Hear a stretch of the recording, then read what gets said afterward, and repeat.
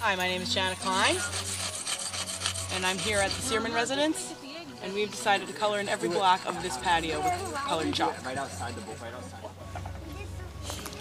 And I'm doing it too. Me too. And that's all.